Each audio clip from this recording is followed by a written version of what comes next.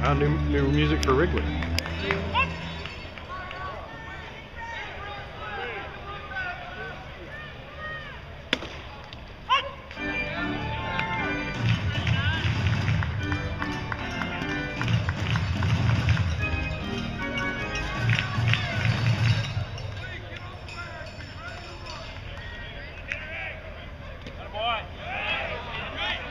Awesome.